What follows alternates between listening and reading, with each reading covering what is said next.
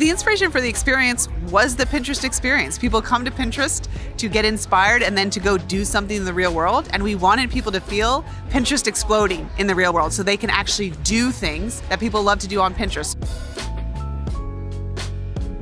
We're each spending at least 50% of our waking hours online.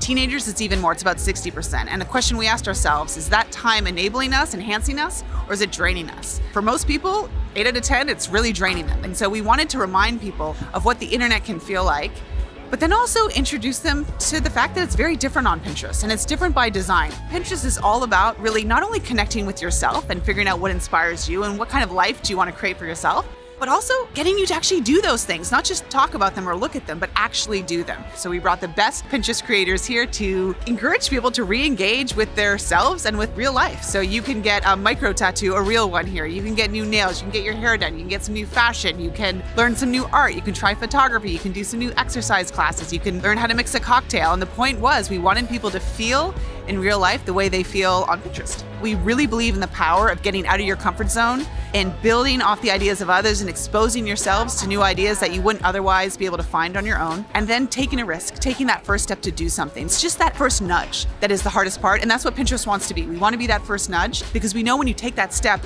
you'll start to run.